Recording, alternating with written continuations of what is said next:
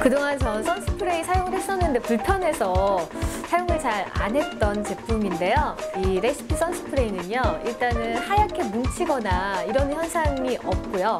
왜냐면 선스프레이 자체가 투명한 색깔이에요. 그래서 언제 뿌려도 맨 얼굴에 뿌려도 그리고 화장한 얼굴에 뿌려도 아무 현상이 나타나질 않아서요. 저는 현장에서도 어, 가끔 뿌리는데요. 올 여름엔 아마 저의 필수 아이템이 될 것 같아요.